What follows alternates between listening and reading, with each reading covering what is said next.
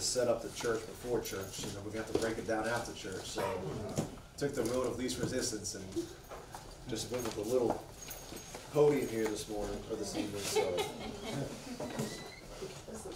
hopefully it uh, doesn't affect the teaching or the preaching. If it does, we'll throw this thing out. All right, Galatians chapter five.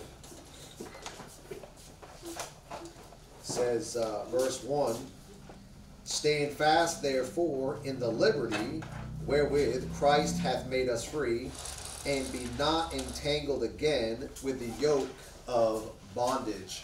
All right, so having finished up Galatians chapter 4, uh, Paul enters into this more spiritual uh, context for the believer in Christ and he's going to deal with Galatians 5 and Galatians 6 as far as now that you're free in Christ, uh, here's how you're supposed to live. And so 5 and 6 are more like instructions for the New Testament Christian um, as, uh, as a believer who's been set free. All right, so in light of what we just learned from chapter 4, we should stand fast in the doctrine and truth of our liberty and freedom in Christ and not become entangled again with the yoke of bondage under the law or the flesh. And so that's what Paul's doing. He's saying now that we're not under the law, and now that we're supposed to uh, not live in the flesh because we've been set free by the Spirit, uh, let us stand fast in that truth and let us go forward with that uh, with that promise or that knowledge that we are not under the law and what we do is not because we're in bondage to the law, but because we are free in Christ uh, to serve the Lord Jesus Christ. And that's a real blessing to be able to serve God. Amen. Amen. Um, we don't consider service or a servant, uh, being a servant as a blessing, uh, but really is it's a blessing that you can serve God. And um, anything you do for God, if it's if it's done with the right heart, uh, is a blessing to God. And that's how God chooses to get things done for the last two thousand years is to use a bunch of you know carnal mortal man uh, to accomplish uh, his will and his plan uh, in the world. And god could have done anything. I mean god did use a jackass. God could have just used a bunch of donkeys uh, to spread the message but he chose to use humans. He chose to use you and i. And uh, we should count it a blessing that he chose to do that. And we should use whatever time we have left uh, for the glory of god and so he says there, stand fast, therefore. So, therefore, in light of chapter 4, uh, stand fast, therefore, in the liberty, notice, wherewith Christ hath made us free. So, the only person that can make a person free is Christ. Abraham Lincoln didn't make anybody free. The Emancipation Proclamation, the Declaration of Independence, the Constitution, uh, any sort of um, government document or legal document, no judge, no court, no parole board, uh, no jury has ever made anybody free. Amen. Only the Lord Jesus Christ makes an individual free. All those other things could have been uh, could be accomplished by lost men for lost men, and they are not free until they meet the Lord Jesus Christ. Amen. Yep. And so, if tonight, if you're saved, you have the greatest freedom you could ever ask for. Uh, you know, freedom, freedom. Everybody can promise it, but only one can deliver on it. Amen. Amen. The Lord Jesus Christ, the only one that can deliver on the promise of freedom. Uh, what was that old that movie that Mel Gibson was in where he yelled, "Freedom"? You know, was that Braveheart? Patri- was that Braveheart? I always get those two confused, Patriot and Braveheart. You know, the same guy in both, right? Same guy in both. But uh, he yells out freedom. You know, uh, what is what does the Roman Catholic Mel Gibson ever know about freedom? You know what I mean? What what what what Roman Catholic knows about freedom? They don't know anything about it. Uh, all it is is a, it's a line in a movie somewhere to get people hopped up on uh, on bravery. You know, Yeah. and uh, they call it Braveheart. And uh, well, anyways, sometimes you need those those Hollywood films that kind of pump you up a little bit. But man, if you're saved, if you're in Christ, you've got much more than a than a Hollywood line, you know, yelled out by by by Mel Gibson with with war paint on, put on by some transvestite in the uh, in the makeup trailer. Funny, but uh, freedom. We're free in Christ. All right, and that, as that is the truth, be not entangled again with the yoke of bondage. And uh, and so every time you try to find freedom in anything other than Christ, you're nothing but uh, a, a person back under the old yoke. And so you really need to, you know, see yourself being free and not get wrapped up in all the political promises of freedom. Yeah. Um, because really that is a yoke of bondage. Sure. And uh, now I'm aware of the politics. You know, I saw some things this week that you know make your skin curdle and make your make your set your teeth on edge. The Bible says, or uh, Bible says about God that his his uh, his teeth are white as milk, but his eyes are red with wine. I mean, God is angry with the wicked every day. And God sees all the stuff going on in the world, and you're going to see it too. And sometimes you choose to see it, at times you just happen to see it. But it ought to make you mad. Uh, but don't get entangled with it. Don't get don't get uh, put under the yoke of, of what's going on out there because it's going to change tomorrow. Yep. Uh, somebody said it recently that politics, Yeah, right. the media, the news is really just a marketing agency. Yes. They're just marketing something to you.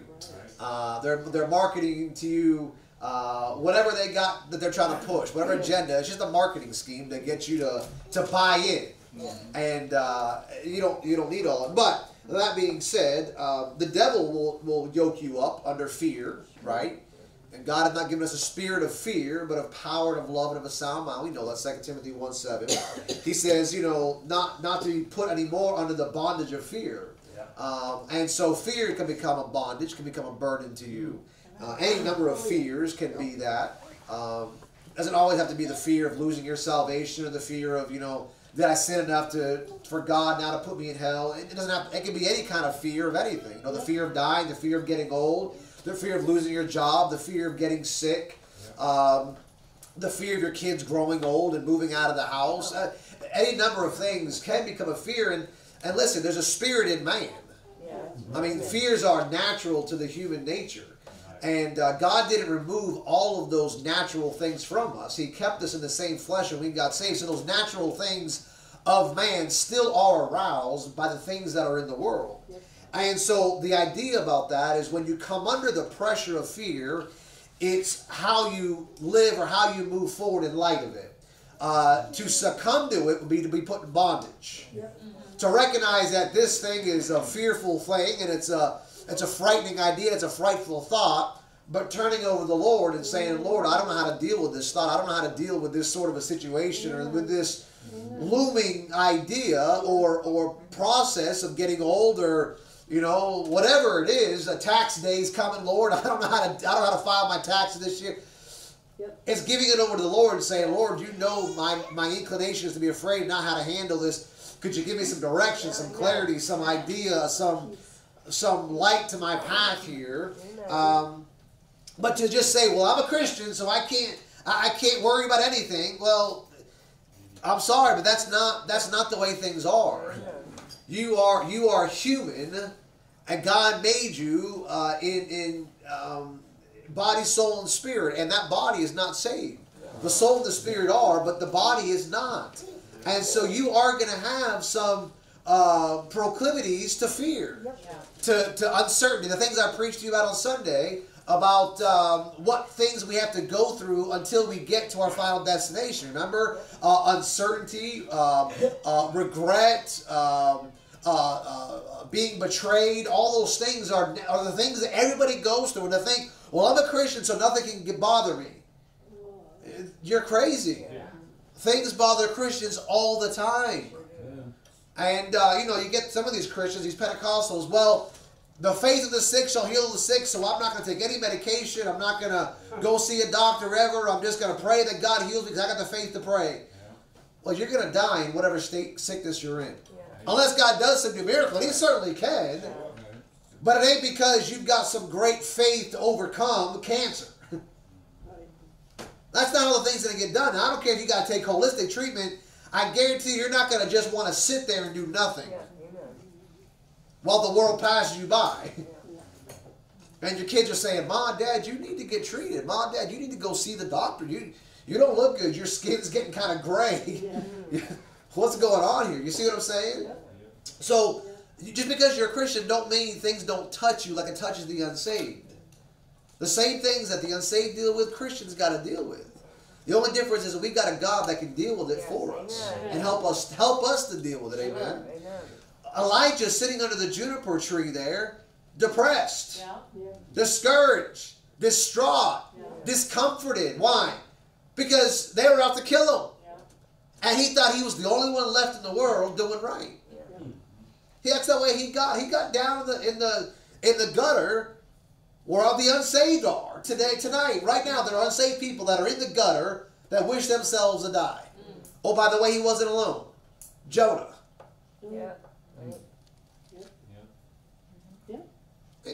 Man, just one entire nation to the Lord.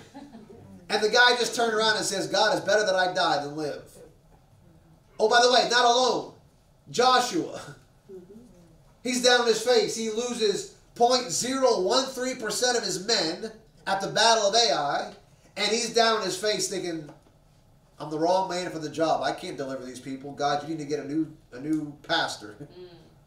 I can't do anything with these folks. You gotta get you gotta get somebody else to deliver them to the Joshua. God called you the captain of the Lord's host, man. Yeah. Yeah. You went and fought the Amalekites Right. and and whooped them. Yeah. Yeah. Yeah. What in the world? You just won the battle of Jericho by marching around it seven times. Yeah. You go lose a couple of men and all of a sudden all hope is lost. Mm. What you think? You think you ain't got the same problems Joshua's got? The Lord Jesus Christ says, now he's without sin, but he says he was touched with the same things you are. That's right. Then they say that Jesus wept. Yeah. What's that about? Oh, he was grieved over the fact they didn't believe him. You know what I'm saying? He got hungry. I preached about it. He got hungry. He got tired. He slept. There was things he didn't do or couldn't do at the end of his ministry, fixing to go to the cross and die, his humanity fully coming to form, that he was doing at the beginning. His ministry, as far as healing people, was coming to a close. And he was going to die, all God, but all man at the same time on the cross, and not be able to take himself off the cross. Amen. Yeah. Oh, by the way, Paul did the same thing. Yep. Paul's in jail. And Paul says, Trophimus, or Miletus, if I've left it, Trophimus sick, or Trophimus, if I left it, Miletus sick. However he says it there. Paul couldn't do the things at the end of his ministry that he was doing at the beginning of his ministry. Paul says, Demas forsook me. You don't think that bothered Paul? You think Paul went to the went to the chopping block dancing a jig? Come on now. Amen. That's where you are in Laodicea in the closing hours of the church age. Amen. Beaten, battered, bloody, bruised, and betrayed. That's. Yeah. Well, what are we going to do? We're, gonna, we're either going to get entangled with that thought and, and take our own life, or, you know, spiritually speaking, and quit, or take our own life, physically speaking, and end it early to go home to be with God. And I'm sure Christians have done that. being with God's better than being with this world. Suicide don't just happen for unsaved people. That's right. Hmm. But the Bible says, hey, in light of the fact that we're free in Christ, you ain't got to be entangled with this yoke. That's right. Amen. And believe me, the world will do all they can to yoke you up to themselves or to the devil or to fear or whatever else. Yeah. That's why the government's pumping all this stuff in front of your eyeballs. Yeah. Oh, yeah. All the stuff that media's putting out there, that's all government state run media. Yeah. Yeah. It's a disinformation campaign to get Christians to come under the yoke of bondage. Yeah. Right? Yeah. Yeah. Absolutely. That's what it is. Mhm. And it's all run by the devil behind the scenes, Amen. using using front men to put the stuff out there. That's right. And Christians are seduced by it and sucked in by it and are scared by it. And they come under the yoke of bondage. Amen. It's no wonder why they come in on Sunday morning kicking and dragging and they walk out the same way. Mm. They, they have a hard time hearing anything they, when they get to church because they're they're stopped up. Their ears are plugged up. You know what he says in one place in that Bible? He says, Purge out therefore the old leaven. Right. Yeah, amen. You know what purge is? Get rid of. How many of y'all like to purge last night's meal? Uh-huh. Nobody likes that. But God says that's what you got to do. You've got to you've got to purge out the stuff that you've been taking in for so long. You know how many Christians don't purge anything before Sunday church or Wednesday night church? You know why most people purge? You know what? You know, outside of being already sick, you know why people purge that kind of stuff? To lose Feel weight. better. Mm-hmm. Oh, yeah. To lose weight. Mm. Feel better, sure. But lose weight. Yeah, That's a disease. yeah. Anorexia. An an- anorexia. bulimia and all that kind of stuff. It's a purging disease. But there's something to it that is very spiritual. That is, they're taking stuff into their body and they don't they feel guilty about what's in there, so they're purging it out. You know, a lot of Christians could do, they should do is maybe purge themselves of all the junk they're putting into their Yeah, body Yeah, before they get to church. yeah, amen. Because there's no room for any spiritual truth by the time you get to church. You know what God does in Laodicea? What did he do? Yeah, he's spewing them out. He's purging them. Now, not that we're getting lost or unsaved, but he's saying, I'm so sick of all these fatty, fat, rich Christians on their hopped up goods Yeah, and their worldly pleasures and lusts and self conceited desires, thinking that godliness is gain. I'm sick of it. I'm gonna purge, I'm gonna vomit, I'm gonna spew out, I'm gonna purge myself of all these pukey Christians. And I'm gonna spend some time with some other ones that Yeah, amen. aren't that way, but are more like the Philadelphia or the other kind of churches. yeah, Boy, God's showing us an example. It's okay to purge. He's purged out the old leaven. Yeah, A lot of Christians have never purged out the old leaven. Some things they got something some things they were doing before they got saved, they're still doing it after they got saved 10, 15, 20 years later. They've never gotten rid of anything. I'm not saying in church now, I'm saying most of these worldly churches, they're just carrying on as worldly Christians the same way that they still go to the bar on Saturday night and they roll into church on Sunday and sway the hands and wave the hands as if they just don't care because they really don't. But I do think in Bible believing churches, they stay up all night watching rated R movie or getting caught up on all the stuff wherever, and they come into church and they'll sing the Lily of the Valley and kneel at the cross, of course they do. but there's nothing been purged since the night before. Now, I'm not saying we're going to be a bunch of Roman Catholics and sin all week and then purge it Saturday night and then come to church holy and sanctified Sunday morning. Purging takes a is a every night, every morning, all day long thing. The minute you take some sin and you're guilty of it, you know what you got? You got to purge out that sin. Yeah. I did it at least once or twice today. I hung over the thank you, brother. Me and you, Brad. You're the only one. We're the only ones that did it, brother. We're the only sinners in church tonight. Praise God for us. Yeah, But no, seriously, there there's so much stuff out there, and and some of it you don't even mean to take in, but you do take it in. yeah, amen.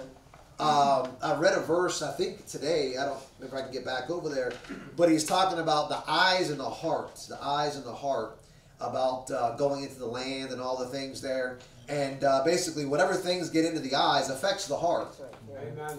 I think I was talking about this with you last week, brother Brad, about you know how do you control the things? You know, the Bible says a man looks at a woman with lust in his heart. Well, how do I how do I walk around this world without looking at all the things that are out there in the world? Do I walk around you know with blinders on, you know, and how do I get through this world? Well, no, you're going to take in a lot of things through the eye gate and through the ear gate. Mm-hmm. We went today to the the coffee shop in Manchester. You know, had a coffee and a bagel. I know they're pumping the stuff in mm-hmm. Yep. you know, and so what do you gotta do? You gotta purge it out. You gotta purge it out. You gotta say, God, you gotta get whatever that stuff was, man. And you can't go to the grocery store. Amen. What are you gonna? Never go get groceries? I mean, what are you gonna do? You can't. You you're gonna take stuff in naturally Yeah.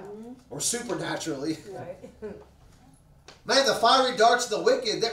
You could be sitting in your basement, tinfoil on the windows, and the devil still. Yep. You got to purge out those thoughts. When- By not, if you don't purge them, you are going to be yoked to them. You want a sermon? You ready? Yeah. You better yak, or you're going to get yoked. Oh, that's good. Yeah, amen. You better yak, or you're going to get yoked. Okay. And I'll tell you right now, there's a lot of Christians that are yoked because they've never learned to yak. Yeah, yeah. Anyways, stand fast therefore in the liberty with Christ, wherewith Christ hath made us free. Now notice how he made us free. He says, Stand fast therefore in the liberty wherewith. That is, what he made us free with, the thing that he used to make us free is liberty. You see that there? Mm-hmm. Wherewith he hath made us free. So he made us free with liberty. Now, how does that even make sense? How can how can liberty? It's liberty is an inanimate object, right? Yep. Well, isn't liberty? Has anybody ever met liberty before? Don't say I met a woman named Liberty, you know, or, or a, a horse named Liberty, you know.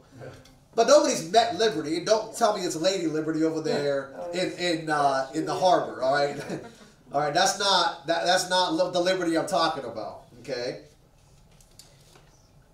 So who's liberty? He's saying liberty made us free. Isn't that what he says? Yeah. Liberty made us free. Whose liberty?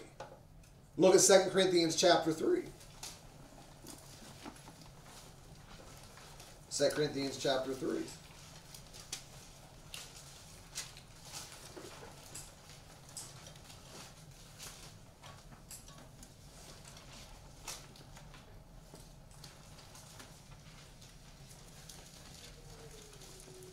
All right, 2 Corinthians chapter 3. Look at verse number 17.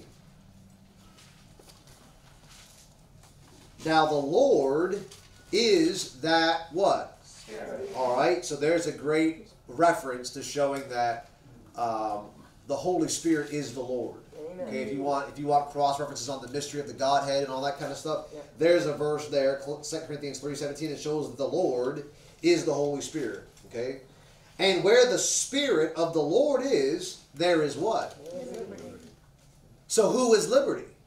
Lord. The Lord, the Holy Spirit, Yes. right? How did God make you free? He made you free with the Holy Spirit. Amen. He made you he made you free by the Lord himself. Yes. He made you free by the spirit of liberty, okay? Um let's see. Back up a little bit and notice how this notice how this here is going to match Galatians 4 coming to an end and Galatians 5 1 starting. Um Look at verse 11, 2 Corinthians 3:11. For if that which is done away was glorious, much more that which remaineth is, is glorious. Seeing then that we have such hope, we use great plainness of speech, and not as Moses, which put a veil over his face, that the children of Israel could not steadily fast, uh, steadfastly look to the end of that which is abolished, but their minds were blinded. For until this day remaineth the same veil untaken away in the reading of the Old Testament, which veil is done away in who? In Christ. In Christ. But even unto this day, when Moses read, the veil is upon their what? Their heart. Their heart. So, an Old Testament Jew, unto this day, and it's unto the day that Paul wrote it, but nothing has changed. Because Paul wrote it in the church age, and we are still in the church age. So, from the day that Paul wrote this, even until now, a Jew is living under the law of the Old Testament. Amen. Amen. And so, because the Jew is living under the all the, the law of the Old Testament, he's under bondage to that law. Isn't that right? Yes. Yes. So he's not been set free. Is that right? Yes. All right. So in Galatians 4, he's showing us how Jerusalem, which now is the mother of us all, this is what made us free. But he says, hey, Jerusalem here on earth is still under bondage unto this day, right? He says there, he says uh, in, in um, where were we? We were in Galatians chapter 4. He says, um, he says, and answereth to Jerusalem, which now is, and is in bondage with her children. So the Jews at that time and her offspring were in bondage to the Old Testament law still because they've not been yet set free in Christ. Isn't that true? Yes. And so the Jew has a veil upon his face, or uh, has a veil upon his heart. Yes. His heart is blinded. He can't see the truth of the Lord Jesus Christ. He's in bondage to that Old Testament law. And so Paul is uh, uh, uh, Paul, who wrote Second Corinthians, then wrote Galatians. He says that just like Moses, when he came off the mount, he put a veil over his face. Right. Yeah. Why? Because the Jew could not look at Moses' face. Why? Because Moses had seen a piece of God and His glory. And so there's a veil put over their face to, to separate them from the glory of God in natural man. And any person that cannot see the glory of God is because there's still a veil separating them. There was also a veil in the temple. Right? And the veil in the temple was to separate natural man from being able to see into the holiest of all where God would show up. Right? So any person who's unsaved is is on the outside of that veil. Amen. And until you get set free, until you get the liberty from God to enter into the holiest of all, you're blind. Yeah. Amen. Amen. Your heart is blind. Yes. And you can't see any glorious thing that's happening in the in- in- with God and with the Bible and unfolding truth. And sadly, there's a lot of Christians Yeah. who are set free, but live a life still blinded to all the glorious things that are being revealed to us by way of Bible prophecy being fulfilled. And you know why? Because they live a life still yoked in bondage. You know why a lot of saved Christians are having a, can't make sense, two sense of what's going on in the world? Is because they're they're in bondage to the flesh. They're they're blind because they're not walking with Christ. They're not walking in the freedom, in the liberty wherewith Christ hath made us free. They're yoked still to something else rather than the Lord Himself. Yeah. So they can't understand Bible prophecy. They can't understand things being fulfilled before our very eyes. So they're discouraged. Yeah. They're distraught. They're discomforted. We don't have to be that way. Yeah. Amen. Because number one, we've got the promise of eternal security, but number two, we've got this this this truth that's constantly being revealed to us about where we are and how close we are to God coming. Amen. Yeah. We are literally seeing the glory of God being revealed through the darkness of the things happening in this Right. world. Amen. Contrast. Contrast, Yeah. right? You probably understand that from painting, right? Yeah. And, and, and photography, you probably understand contrasting of lights. You know one time what they're doing? I'm getting lightheaded up here. You know what time one time they were doing over there in the Old Testament? They come out of uh, Egypt, and he says that it was almost like it was a thing of darkness on one side to the nation of Israel, to the nation of Egypt. It was darkness on the backside because God was standing in between. It was darkness over here, and it was light to the nation of Israel. Yeah, that's right.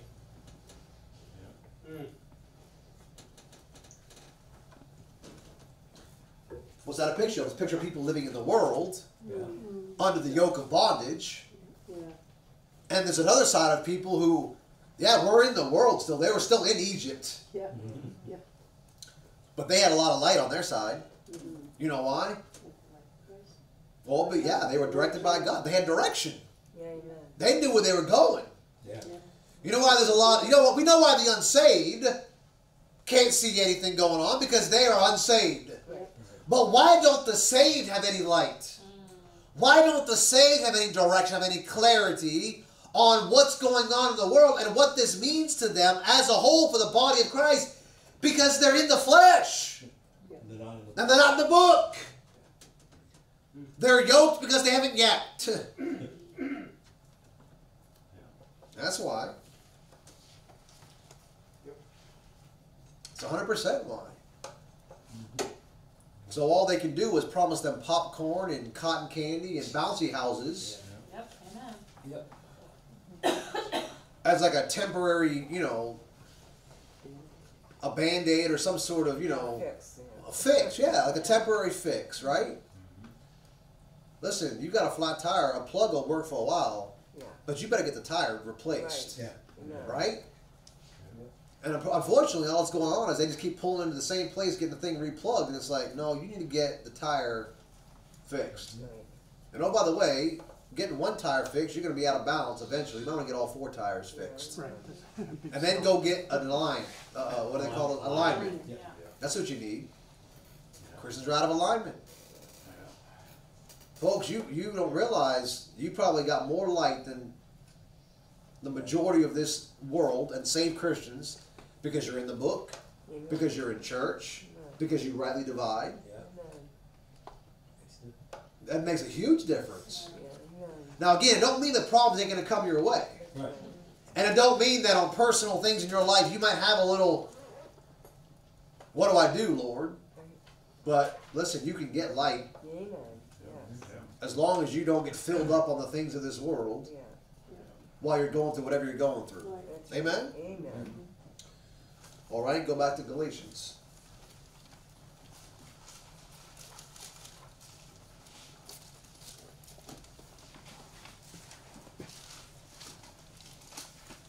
I don't know if it just got hot here all of a sudden, but maybe it's this. Uh, maybe you know what it probably is. It's this like weird sort of. Uh, normally, to be, normally it's up here, Yeah. and I'm down here, Right. and I'm out of you know I'm out of sorts. But uh, that's all right. Um, you just be ready to catch me anymore. Amen. So he says, uh, "Stand fast, therefore, in the liberty." Now that's where you are. You're in the liberty, Amen. and that's what you got to remember. Is because you're in Christ, you're in the liberty. You are in the Spirit. Okay. Now you may not always walk in the Spirit the way you're supposed to, but doctrinally speaking, you are in the liberty because you are in the Spirit, and the Spirit is the Lord. Amen. Therefore, you are in the Lord this evening Amen. because you're saved. Now stand fast, therefore, in the liberty wherewith Christ hath made us free. Now, of course, the us there is only those who are, have been born again. And be not entangled again with the yoke of bondage. Now, notice it says again. Yeah. So these are saved people. It is possible for saved people to be yoked again Yeah. to bondage. He's dealing with saved people, so you got to understand that. This whole Pentecostal charismatic idea or Church of Christ idea that if you've committed a sin, you've got to get resaved or rebaptized or reslain in the Spirit or rejoin our church or the Roman Catholic system. You know, you got to, you know, do this whole thing over and over and over again to keep, you know, things right with God, your status, you know, with God secure. No, no, no, no. I've already been told that I'm in the liberty. And I've already been told that I'm free. So, in light of that, walk with me in light of that, and don't be entangled again. But if you do get entangled again, other places he's going to show you how to get untangled. Okay. But what he's saying here is, hey, let's limit the amount of times you get entangled, Yeah. Amen. right? And that takes that takes growth. Right. The more you grow in the Lord, the less times you sh- should become entangled in the same things. Yeah. The most frustrating thing as a pastor is to constantly be seeing Christians get re-entangled with the exact same thing they were entangled with Yeah. Yeah. a dozen years ago. It's hard though. Yeah.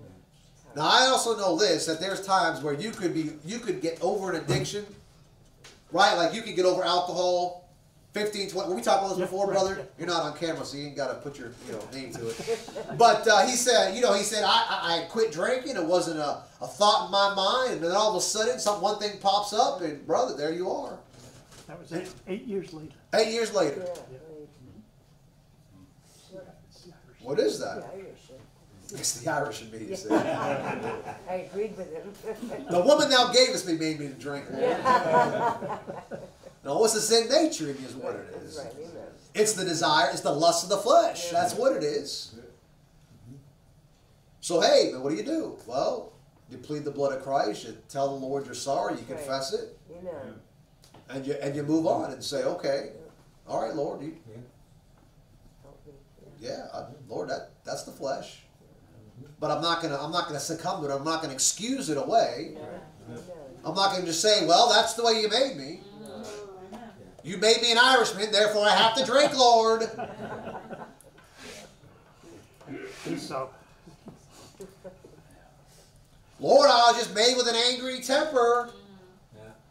Lord, I'm just, you know, I'm just a bitter person. That's the way I was raised, how my grandpappy was, my grandmammy was, and we're Southerners and we hold grudges forever. You can no, no, no, no, no, no, no. What what happened? You were set free.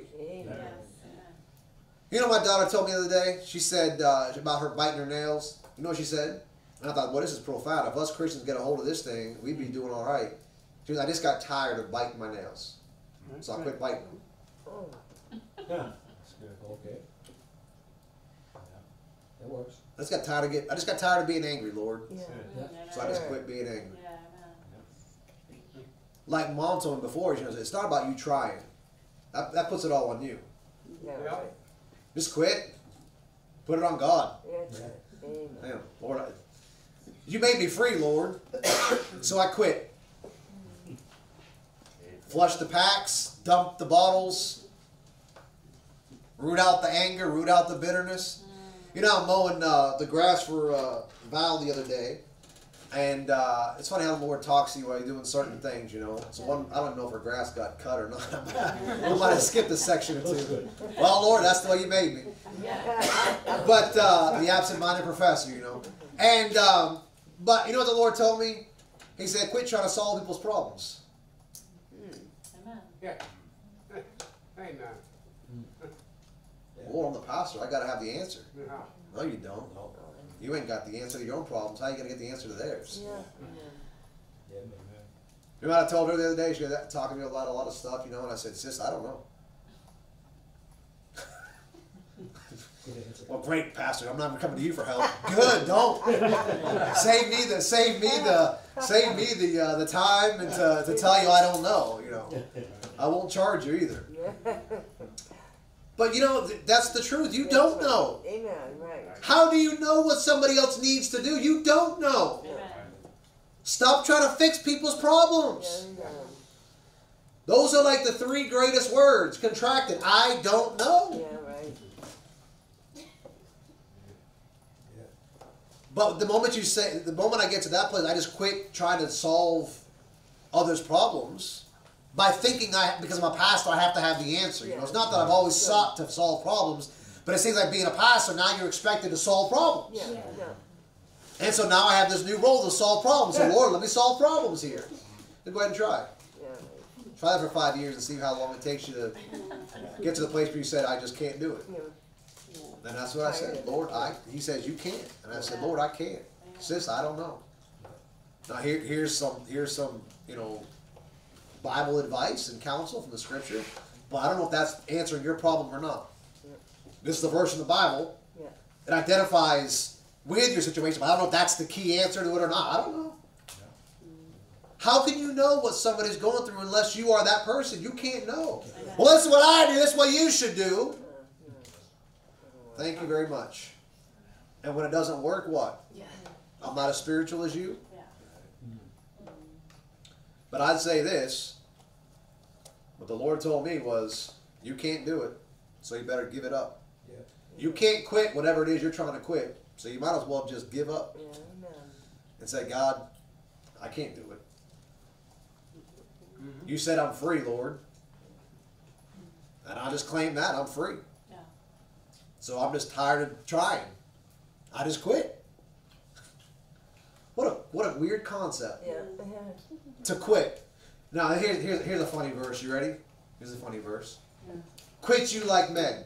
Yeah, Yes. Yeah. There's more to it, but he says quit you like men. Now I know that the old English there is acquit, which means you know to let go, to release. If you if I quit you of something, you're, you've been set free. Ain't that what it means? Mm-hmm. Yeah. You know what quitting is? Letting go. letting go. So God kind of does like a, we call it a double entente in our house, but a double entendre is that the proper? Yeah. It's the Lord's using two things to one, you know, Yeah. two birds to kill, two stones to kill one bird, or something like that, or one bird to kill two stones, however the thing goes. I don't know. What is it? Two? What does the thing go? One stone. One stone kills two birds. Yeah, that's it. Tony, God's trying. God's trying to give you one stone to kill two birds. Right. Up, quit, and just quit, man. That's it. Amen. Just give up and say, God, you said quit, so Lord, I quit. I'm done trying. And Lord, I'm just going to lay it on you. I need you to take it. And her nails are growing out, aren't they? Yeah. I don't know, maybe that'll help. But again, I don't I don't have the answers to you. But that's what the Bible says that maybe might help you. So he says, Stand fast, therefore, in the liberty wherewith Christ hath made us free, and be not entangled again with the yoke of bondage. That word stand fast, and um, maybe next uh, Wednesday night we'll look at some uh, prophetical verses connected to this and some other places. It shows up in the Bible nine times. That phrase "stand fast" shows up in the Bible nine times. And so, uh, well, I can't do next Wednesday night because we're gonna have that missionary here. So we'll we'll we'll hold it over another Wednesday. But nine times that ver- that phrase shows up in the Bible, stand fast. Of course, this is one out of the nine. But the phrase means standing in a fixed or settled position. To stand fast is to stand in a settled or fixed position. So taking that in mind, stand fast. What is that? Stand fixed. Stand settled. What am I standing fixed or settled in? In the liberty. Stand fixed, stand fast, stand assured in the liberty. Stand fixed, stand settled, stand assured. What? That Christ made you free. Amen. Amen. And if you're free, then you're free indeed. Amen. What did that in that one verse he says? He says, um, how, how does it go? It's in uh, John 8, where he says, uh, you're free indeed. But how, how's the beginning? How's the beginning of the verse go? The Son shall make you free. The Son shall make you free, you shall be free indeed. Isn't that how it That's it. goes? Yeah. Um, is there another verse that goes along with that? I think uh, there in John. It's on the sign out there. Want to go pick, peek at the sign? I'm trying to think of the verse that. Yeah, Uh, uh, uh, the truth will set you free. thank you. That's the verse I'm looking for. Yeah. The truth shall make you free. Yeah. CIA's motto. That's right. The Catholic Information Agency. Yeah. Uh, the truth shall the truth shall make you free. Yeah, yeah. And uh, if the Son of Man make you free, you shall be free indeed, right? And so, hey, stand fixed, stand settled, stand assured that you have been made free Amen. Amen. by the Lord Jesus Christ and what He did for you on Calvary and through the Holy Spirit. Stand fixed, stand settled, stand fast, stand assured. That goes to your eternal security. Amen. You're not going to lose your salvation. Stand fixed, stand settled, stand fast, stand assured that you are eternally secure to go to heaven. Amen. That is your destination. Yeah.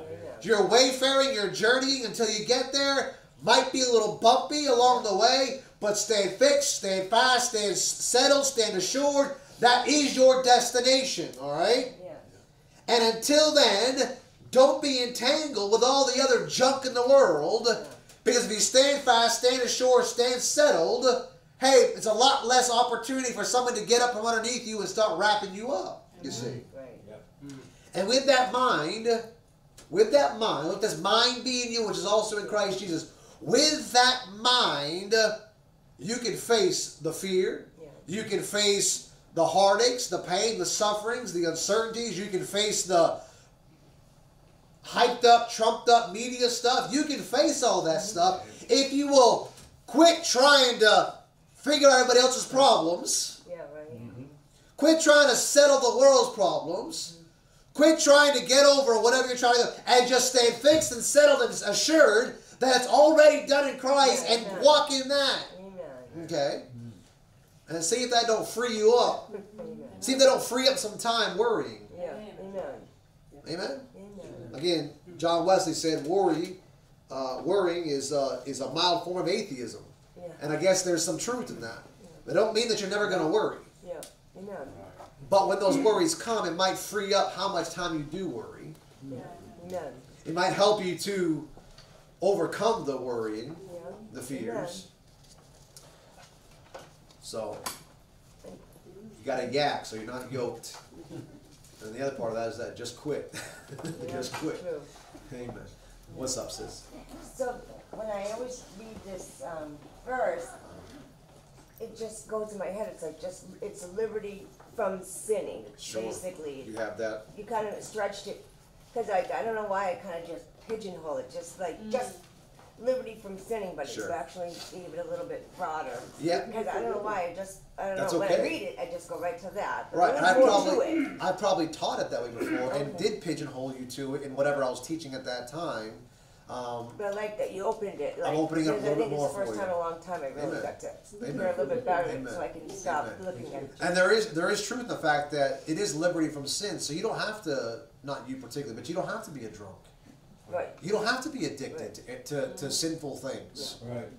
because because you do have liberty from sin. You don't it. have to be in bondage to anger or to violence or to revenge or you know all, you don't have Any to be it, in yeah. bondage to that because you are free from sin. You don't have to sin. Yeah.